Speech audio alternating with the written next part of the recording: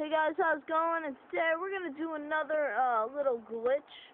Uh, it could be a glitch, I don't know, but I'm gonna call it a glitch in Minecraft Xbox 360 Edition. As you can see, I have a sword right here, and if I block and then press, uh, if I LT to block and then press RT to hit, it does a weird emotion, and if you just keep on pressing it, it's just weird. Yeah, guys, this this is mostly the glitch right here.